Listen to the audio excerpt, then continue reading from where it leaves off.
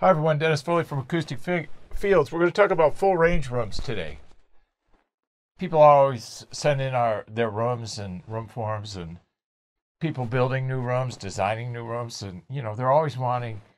Where do I start? What are the ratios? What's the width, height, length? Well, let's talk a little bit about some of the things behind that, and then we'll get to that. Okay.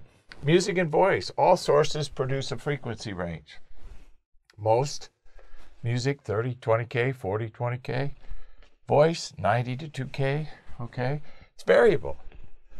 But the goal here is that it has to fit, fit into the room right? The best sound i always say is no room.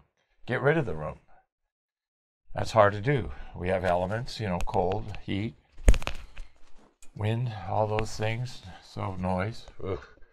so we have all these things we have to consider but let's take the low end of the spectrum. We're going to deal with energy that's 30 plus 30 foot long. Could be 15 foot high. Will it fit in the room? No, it won't. So, what do we do? Well, let's look at the room.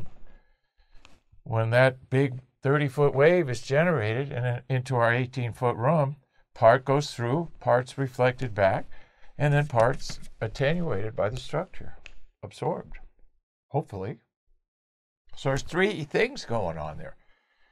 If you don't think it goes through, just ask your neighbor. The kick drum go up to 300 yards travel. What chance does this neighbor have who's 20 feet away? Drummers know this.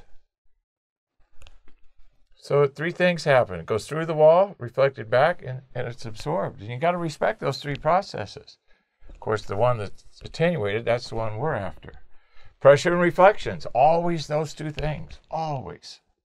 Big Roman numeral one and two, pressure and reflections under room acoustics. What's the start size for treatment response?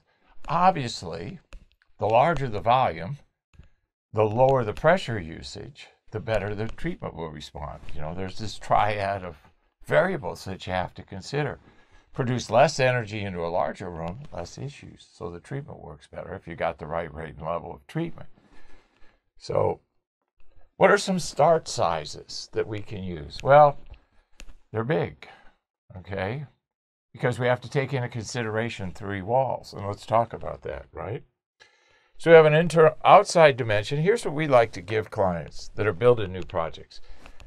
27 to 31 wide, 13 to 15 high, 33 to 37 long. Big. But when you have a room and a footprint like that, it doesn't really matter what the usage is. That's a good drum room. It's a small, good band room. It could be small orchestra room. There's a lot of good things about that kind of volume and size. But one of the big things about it is that it responds really well to the treatment you put in it. Do you need less treatment? Usually in the low frequency area, but more in the middle and high because it's bigger. You have higher reverb times, more reflections, so more surface area covered. So it's a trade off. There's no absolute, as they say in acoustics. So also, you have to realize that in our room, we have three walls. That's OD dimensions that I gave you. That's outside. But there's an inside dimension. Okay, so we have OD out here. And then what do we have inside those walls? Well, we have three walls barrier, BTU, we call it, and treatment. Barriers for noise. That's on the outside. Stop the noise from getting in. Stop the noise from leaving. Same two-way valve, right? BTU, keep the room warm or cool. Winter, summer, seasonal temperature management. Treatment, absorption and diffusion. Three separate walls, three separate functions, three different branches of physics.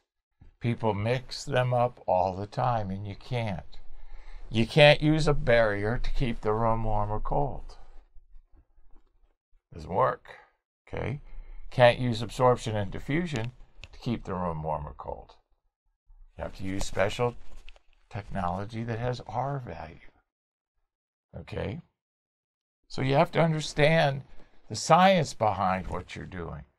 Because lot covering lots of surface area with treatment, with noise technology barrier, with BTU management. You guys that build know this. It's expensive. You want to start with the right footprint so that the treatment that you have to put in, and everybody has to put in treatment in any critical listening room, regardless of the size, that the treatment responds the best that it can. So, full range rooms. Hope this helps. Thank you.